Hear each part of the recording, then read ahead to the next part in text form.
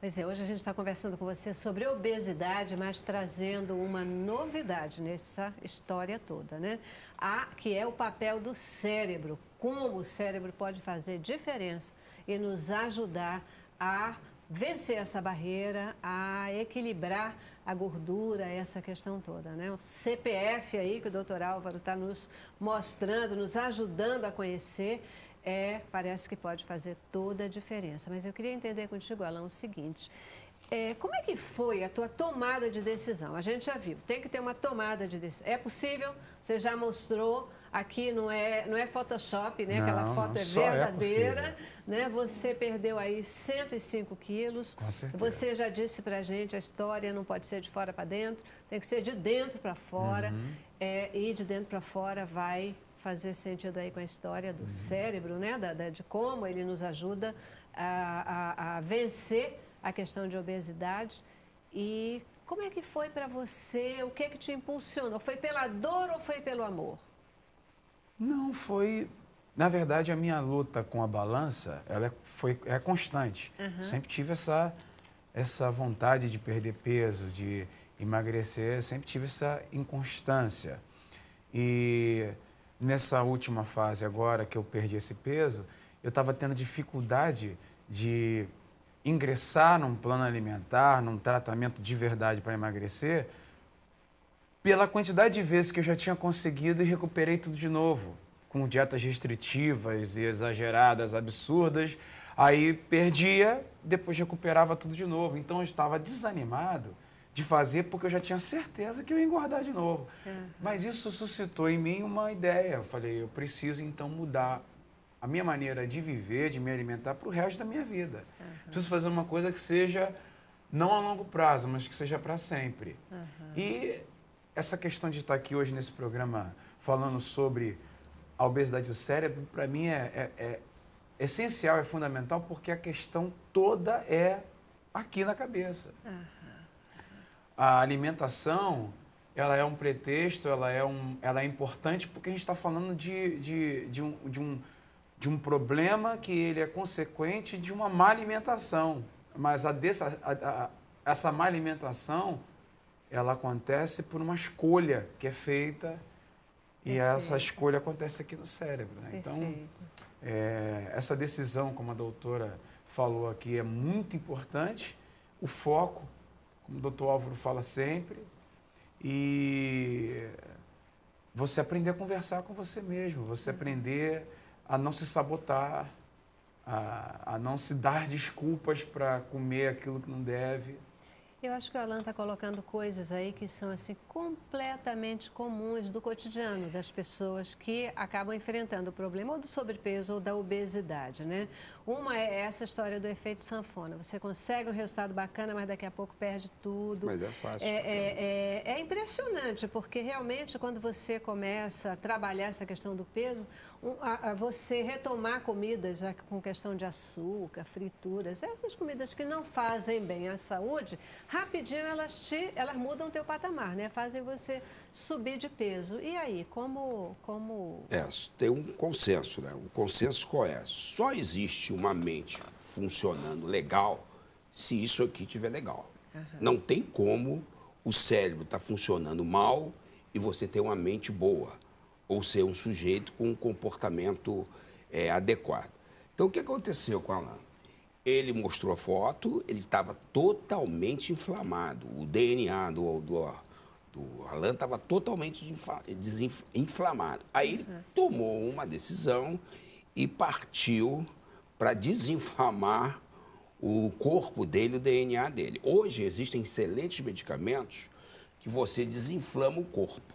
Mas como vai desinflamar o corpo, você está desinflamando o cérebro. Uhum. Agora, quando eu falo de medicamentos, eu não estou falando de medicamentos específicos é, para emagrecer. Eu estou falando de medicamentos específicos para tratar as causas que estão fazendo engordar. Por exemplo, tratar a impulsividade. A impulsividade pode ser por droga, pode ser por comida, pode ser por alga, por, por por, por álcool, cigarro, uhum. é, por comida, por bebida, por jogo ou por todas as opções uhum. anteriores. Então, a pessoa tem uma impulsividade incontrolável quando alguma região do cérebro dela não consegue frear sentimentos e emoções. Então, existe uma falha bioquímica, existe uma falha nos hormônios.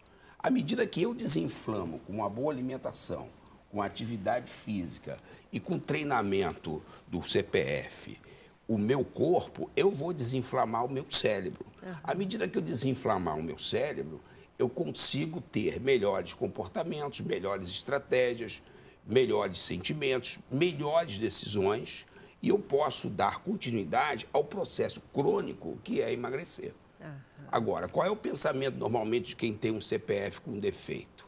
Que é uma coisa mágica, que é uma coisa imediata, uhum. que é uma coisa que não tenha disciplina, comprometimento, é, que não tenha é, persistência, uhum. que possa abrir é, exceções toda hora. Então, o problema é aqui, Celeste. É exagero a gente falar que, porque vocês estão colocando essa questão da ansiedade da pessoa que ela vai buscar se compensar. Em determinado momento, ela tem um tipo de necessidade, ela busca essa compensação, ou com um alimento, ou com droga, ou com álcool, né? É, e aí, é, para esse lado que ela foi, ela acaba se viciando. A gente está falando da mesma reação, só que com questões diferenciadas. Então, tem que tratar é, é esse ponto do cérebro, dessa ansiedade, para poder conseguir se libertar, seja qual for desse problema. Porque é chocante a gente imaginar e dizer assim: olha, você você está doente, você é obeso, você tem um problema com comida. Ele tem a mesma dimensão de fato de dizer você tem um problema com droga, você está viciado. É exagero ou a gente. Não, é, é um problema do CPF. Uhum. Não é exagero, não, Celeste. É mesmo como se fosse um vício. É, e a coisa interessante é que quando a gente tem um nível X de estresse, um nível X de uma grande quantidade, assim, um nível muito elevado de ansiedade, existe um hormônio chamado leptina e ele torna-se muito baixo. É o que controla essa questão do apetite.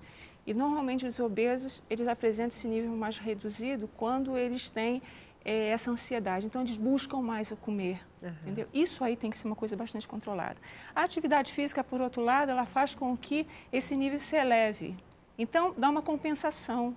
É possível ele des... aí a gente diz assim, em outras palavras, é possível ele desestressar na atividade física, que aí ele não vai engordar tanto. Uhum. Então, também é um ponto for positivo. E aprender as coisas que ele vai estar comendo, selecionar as células gordas, elas não vão sair, elas não vão embora, elas vão ficar ali murchinhas, pequenininhas e pedindo comida. Uhum. Elas querem porque é como se elas estivessem em memória. Eu quero comer, quero comer, quero comer. Então a gente vai passar a oferecer não mais o refrigerante, não mais os doces, não mais o chocolate, mas as coisas saudáveis, são as frutas, legumes, verduras, enfim, uma alimentação saudável. Trocar. E aí é possível a gente conseguir sim, mas a ansiedade tem que ser controlada, se possível até a ter os psicólogos, a atuação de um psicólogo junto a esse paciente. E é para isso a gente tem nos postos de saúde, eu sei que existem a, a clientela, o número é muito grande, né? a demanda é grande. Mas que, se possível, que junto aos postos de saúde, essa, essa pessoa venha procurar também um psicólogo uhum. para poder dar uma ajuda nessa questão da ansiedade. O que, que eu faço com essa ansiedade? E vai acabar chegando na conclusão que a gente está falando disso tudo aqui. Uhum. Por isso essa diversidade de profissionais no Exato. momento desse, é, para ajudar, né? Até nessa comparação que a senhora... Perdão, doutor. Não, pode falar. Até nessa comparação que a senhora fez sobre o, o compulsivo alimentar com o, o drogado tal, quando eu tomei essa decisão mesmo de ingressar por um caminho sem volta de emagrecimento, eu passei a me dizer isso. Eu sou doente. Uhum. Eu me dizia isso para mim. Por quê? Porque muitas vezes essa, essa questão de você fazer um plano alimentar e abdicar de chocolate, abdicar de, de enormes quantidades de pizza, abdicar de toda aquela guloseima, você tem uma hora que você começa a tentar se sabotar porque você se sente anormal. Uhum. Então você pensa assim, vai ter uma hora que eu vou poder voltar a comer normalmente. Mas comer ter duas barras de chocolate, duas pizzas inteiras, não é comer normalmente. É verdade. Então, eu passei a pensar a respeito de mim mesmo. Eu sou doente. Eu tenho que entender isso todos os dias. E é melhor eu conviver com isso e, e, e tratar isso do que é, a, a, comer desenfreadamente, deliberadamente e, e, estar infeliz, deprimido, depressivo e, é. enfim. Eu posso falar pois uma coisa, é. Celeste? Tem um quadro, ele está falando isso tudo aí, está me lembrando da minha mente, o quadro de Botero. Botero é um pintor, que ele sempre retrata a questão da obesidade. Depois, quem está assistindo, se puder, está é, tá consultando, seria legal. Entrar na internet e veja lá, Botero, os quadros de Botero. E ele sempre retrata famílias obesas. É, 99% dos estudos mostram né, que a questão da obesidade, sedentarismo e a questão da má alimentação. E ali nos quadros a gente vê isso nitidamente. Pai, mãe obeso, filho obeso, até os empregados que estão ali naquela casa todos os dias, obesos também, o, o bebezinho obeso, os cães obesos, os gatos obesos. Então, é uma, a obesidade é uma coisa que vai tomando conta de todos. Uhum. E é uma coisa que precisa ter um controle, uhum. tem que ter um freio. E hoje a gente tem uma população muito obesa, é de 50% a 60% da população obesa no Brasil de do, 1986, se me falha a memória, até 2006, nós tivemos um aumento de 260% das crianças em obesidade. Verdade. Nos Estados Unidos, esse mesmo período, 60%, uhum. que do aumento da questão do sobrepeso e obesidade. A gente está perdendo, daqui a pouco a gente vai se igualar aos Estados Unidos. E tem uma outra, outra coisa também que eu percebo ouvindo as pessoas. As pessoas também não querem se confrontar. Elas não querem ir de encontro a si mesmas, se conhecerem, se entenderem. Elas querem uma solução para a obesidade que venha de fora, de modo que ela não precise se conhecer.